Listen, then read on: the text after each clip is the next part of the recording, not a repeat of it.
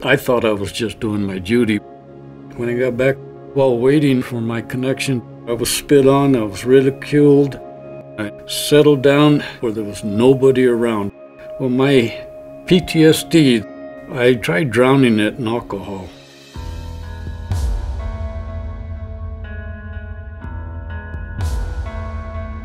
Name's George, Army, and I served from 67 through 70. MOS welder blacksmith. Went to Western University in Silver City. My intention was to be a industrial art teacher, woodworking. I was failing out. I was flunking out of school. The draft board called me up, put me in uniform.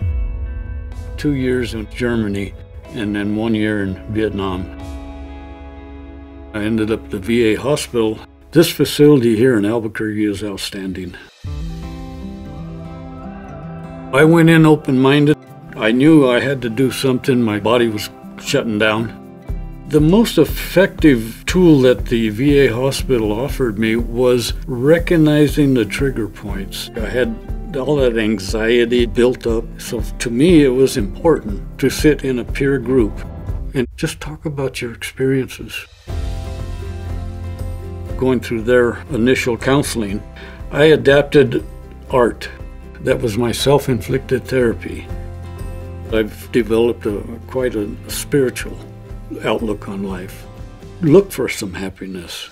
The sculpture was commissioned by Vietnam Veterans of America. Never again will one generation of veterans abandon another. I have two daughters. We clashed for many, many years. It's now starting to heal and we can communicate honestly. And I think that's very important with all human beings. Working with a veteran is happiness for me. Having somebody saying, hey, welcome home to you.